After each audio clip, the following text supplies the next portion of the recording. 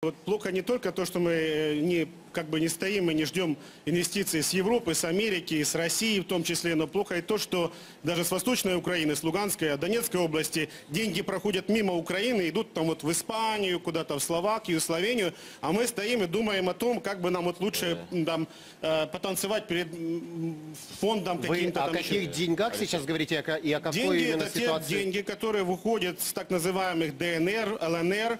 То А что это за деньги? Как они это бизнес вывозится, просто оттуда выезжает бизнес постоянно. Да, деньги вывозятся в мешках, там, чемоданах, не знаю, под любым предлогом, но они не остаются почему-то в Украине, они выезжают дальше. И вопрос, почему мы не даем возможность этим деньгам остаться здесь?